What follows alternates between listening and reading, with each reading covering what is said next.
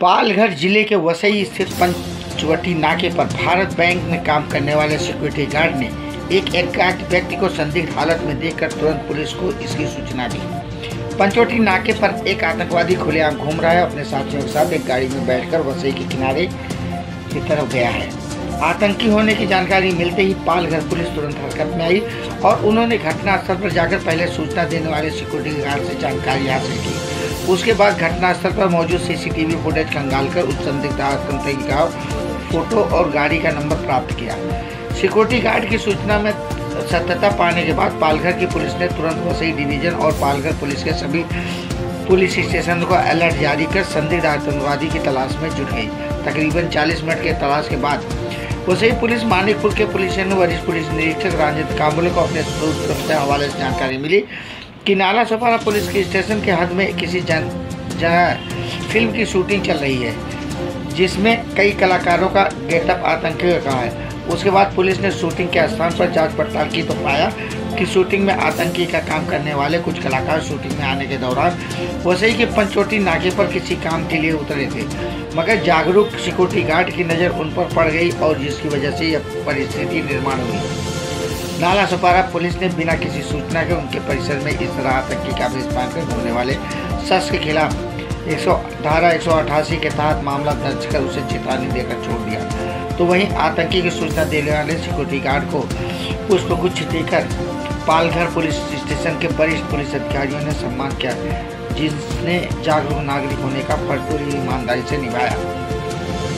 Sir, क्या बताएँगे? कल जो आतंकवादी का अफवाह उड़ाता वसई तालुका में और पुलिस को 40 मिनट इस आतंकवादी के पीछे गलाना पड़ा।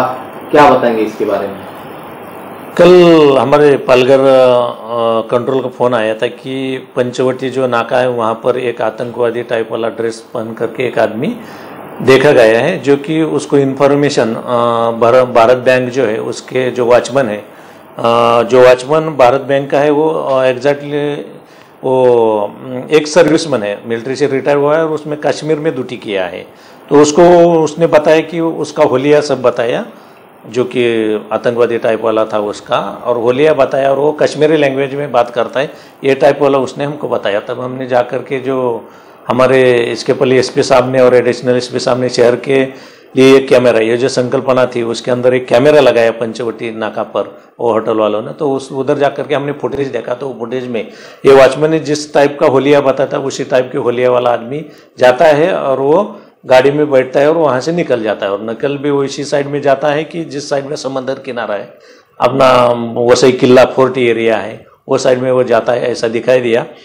तब हमने पूरे इलाके में सब जगह पर नाकाबंदी लगा दिया एडिशनल एसपी साहब ने और डीवाईएसपी मैडम ने। और जो फुटेज देख रहे थे, उसमें हमको गाड़ी का नंबर मिल गया, वो जो गाड़ी में गया था। तो हमने उधर के फ़ोटो खींचे और हमारे व्हाट्सअप ग्रुप है, जो कि नाकाबंदी में है, सभी को हमने भेज दिए। तभी सन सिटी वाला जो हमारा बिट मार्शल है और जो नाकाबंदी थी, उधर के लोगों को वो बस दिखाई दिया, तब उन्होंने जाकर के उसको रुकाया और इंक्वायरी किया। तो वही बस थी वो नंबर वाली और उसमें जो बैठे थे वो दो लोग भी वही होलिया वाले थे। तो हमने जाके इंक्वायरी किया, तब उधर पता चला कि उधर जो मूवी रिलीज़ होने वाली आएगी, उसका शूटिंग चल रहा था और ये जो लोग आतंकवादी करके बोल रहे थे, वो शूटिंग वाले लोग थे, जिधर उनको रोल दिया था। वो लोगों ने शूटिंग से बाहर आकर के करना नहीं चाहिए था, मगर उन्होंने सभी इलाके में आकर के ये होटल में इधर उधर गए, इसलिए जनता में संभ्रम हो गए कि एग्जैक्टली ये लोग है कौन। इसी वजह से चालीस मिनट का ड्रामा सब कुछ चला। सर इन पे क्या कार्रवाई की गई? उनको तो हमने नाला सोपारा पुलिस स्टेशन के अंदर हाथों में दे दिया है क्योंकि वो इलाका उनके एरिया में आता था और उन्होंने वहाँ पर एफआईआर दाखिल किया है। सर जो वॉचमैन ने आपको इन्फॉर्मेशन दी उसके बारे में क्या बताएँगे? वो वॉचमैन सच में वो एक देश का जागरूक नागरिक बोलेंगे उस मुताबिक उसने काम किया है। एग्जैक्टली उसने एक सर्विस मैन है उसने उधर भी ड्यूटी किया है ईमानदारी से और आज भी उसने इतने लोग थे मगर सिर्फ़ वो वॉचमैन था कि जिसने हमको इन्फॉर्म किया और इसी वजह से हमने उसका सत्कार भी कल किया है बुके देकर। सर कल जब आप सर मैं Anil Mahajan B S F paramilitary एक सर्विसमैन सर आ, सर मैं कल के बारे में कल का जो हुआ आ, तो उसके बारे में मैं एक ही बताना चाहता हूँ कि मैं मैं टू फोर्टी फाइव को खाना लेने को गया था सर। तो खाना लेने को गया था तो आ, इसके बाद मैं खाना लेके उधर से आ रहा था। आ, तो आते समय मेरे एक संशयित एक संदिग्ध आतंकवादी समझ लो ऐसे ही ड्रेस में कोई मैगजीन पोच लगाया हुआ है कोई आतंकवादी दिखाई दिया दो मिनट में रुका उसका नज़र मेरे तरफ़ और मेरा नज़र उसकी तरफ़। तो उसके बाद देखते ही थोड़ा उसको भी कोई डाउट आया क्या हुआ कुछ नहीं। लेकिन उसका जब नाका अपना उसका स्कार्फ गिरा, इसके बाद थोड़ा मेरे को डाउट आया कि दाढ़ी बिड़ी है तो मैंने सीधा मेरा भाई को कॉल किया। भाई, मेरा नासिक में है। नासिक में कॉल करके कंट्रोल रूम में कांटेक्ट किया। कंट्रोल रूम से सीधा मेरे को इतना पुलिस का सपोर्ट मिला कि डीवाईएसपी साहब पाँच मिनट में इधर पहुँच गए और सीसीटीवी के आधार पर उन्होंने तुरंत एक्शन लिया और बिफोर फोर्टीन मिनट्स में उसको कैप्चर किया सर तो आपने क्या देखा था उनके पास? क्या क्या लगा हुआ? उनके पास एक नाइन मैगजीन का मैगजीन पोच लगा हुआ था और एमिनेशन शूज़ एंड आर्मी का टी शर्ट आर्मी का टी शर्ट और एक स्कार्फ था। आपने क्या किया उसके बाद देखने के बाद? देखने के बाद मैं तुरंत मैं बैंक में आया। बैंक में आके मैंने सीधा नासिक में मेरा भाई है कंट्रोल रूम में। उधर मैंने उसको कॉल किया।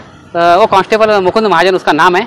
तो उसको मैंने कांटेक्ट करके उसने कंट्रोल रूम का नंबर दिया सर कंट्रोल रूम का नंबर दे के सर उसने सीधा कांटेक्ट इधर अपने डीवाईएसपी सर से सूर्यकांत सर से एक्शन लिया। उन्होंने तुरंत आके इधर मेरे को बहुत सपोर्ट किया सर कैसा लग रहा है?